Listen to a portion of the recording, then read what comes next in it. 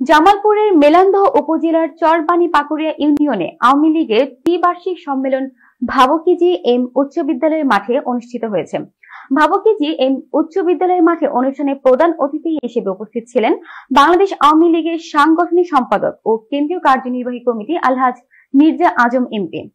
উদ্বোধন করেন উপজেলা আওয়ামী লীগের ভারপ্রাপ্ত সভাপতি মোহাম্মদ আলী জিন্না বিশেষ অতিথি হিসেবে উপস্থিত ছিলেন জেলা আওয়ামী লীগের সভাপতি অ্যাডভোকেট বাকি বিল্লা, সাধারণ সম্পাদক আলহাজ ফারুক আহমেদ চৌধুরী সহ সভাপতি ইঞ্জিনিয়ারিং কামরুজ্জামান, আলহাজ শফিক জাহেদি, আলহাজ সোহরাব হোসেন বাবুল, শফিক জাহিদি রবিন, আলহাজ দিদার পাশা, ডক্টর মিজানুর রহমান সহ আরও অনেকেই। অপরদিকে দ্বিতীয় অধিবেশনে আগামী তিন বছরের জন্য তারা আকন্দকে সভাপতি ও সহ সভাপতি এ K M Rakibul Islam Momin Mizanur Rahman, Belayet Hossain Belal, Harunur Rashid, Ainul Haque master, প্রভাষক আহসান হাবিব, রাসেল মাহমুদ, সাধারণ সম্পাদক হিসেবে খন্দকার মোহাম্মদ মুজিবুর রহমান এবং যুগ্ম সাধারণ সম্পাদক ডক্টর মোহাম্মদ জাহাঙ্গীর আলম মুকুল ও মনোহর আলীকে আংশিকভাবে কমিটি গঠন করেন। পরবর্তীতে পূর্ণাঙ্গ কমিটি গঠন করা হবে।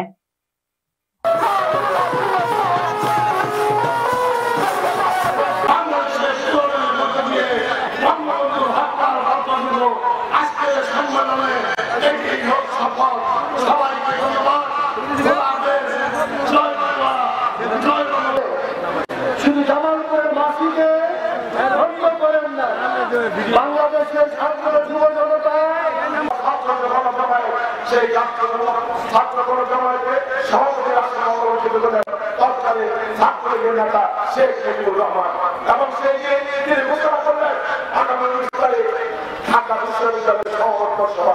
সেই জায়গায় প্রধানমন্ত্রী হিসেবে বক্তব্য থাকবেন পাকিস্তানের জাতির পিতা আইজা আজম মোহাম্মদ আলী জিন্না।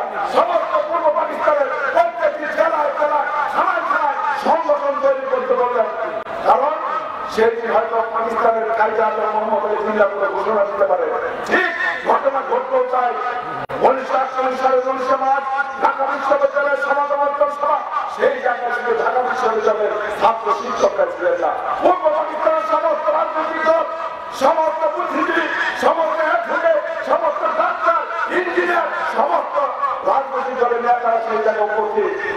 পাকিস্তানের জাতীয় মোহাম্মদ আলী জিন্না তার বক্তব্যে রাষ্ট্রান্ত হিসেবে ঘোষণা করলেন উর্দু আর Urdu state language of Pakistan মানে পাকিস্তানের একমাত্র রাষ্ট্রভাষা হবে উর্দু এই কথা বলার পর সমস্ত স্তব্ধ পুরো পরিবারকে প্রতিবাদকে গেল সেই প্রতিবাদ সভায় দুনিয়ার শেষ প্রান্ত থেকে ছয় ছয় দুই মিনিট